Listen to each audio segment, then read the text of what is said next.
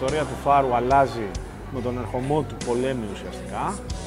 Ε, αγωνιστικά υπάρχει και ένα άλλο πρόσωπο που αλλάζει τα, τα δεδομένα στο Φάρο, είναι ο Σωτήρης ο Κατούφας.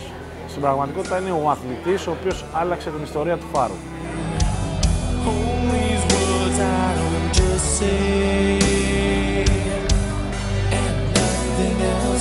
Το μεγαλύτερο μου όνειρο που εκπλήρωσα ήταν που ήρθε στο γήπεδό μας ο ΠΑΟΚ.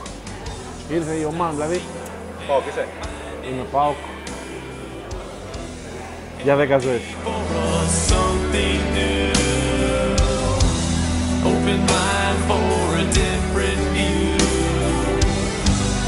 Το να πας και να αγοράσεις μια κατηγορία είναι πολύ εύκολο, όμως δεν σου δίνει χαρά, διότι την κάνεις μέσα σε ένα γραφείο. Το να κερδίζεις μέσα στο γήπεδο είναι η μεγαλύτερη χαρά.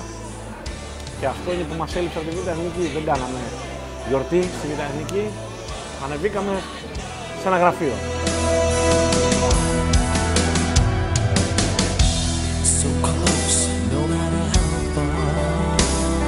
Είναι μια ομάδα η οποία η οργάνωσή της δεν είναι για αυτήν την Α1 που υπάρχει αυτή τη στιγμή.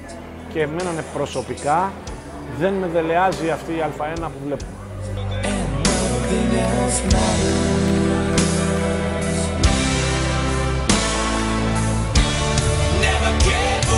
Δεν υπάρχει κανένας άνθρωπος στον αθλητισμό που να κάνει πρωταθλητισμό και να μην είναι ματαιόδοξος.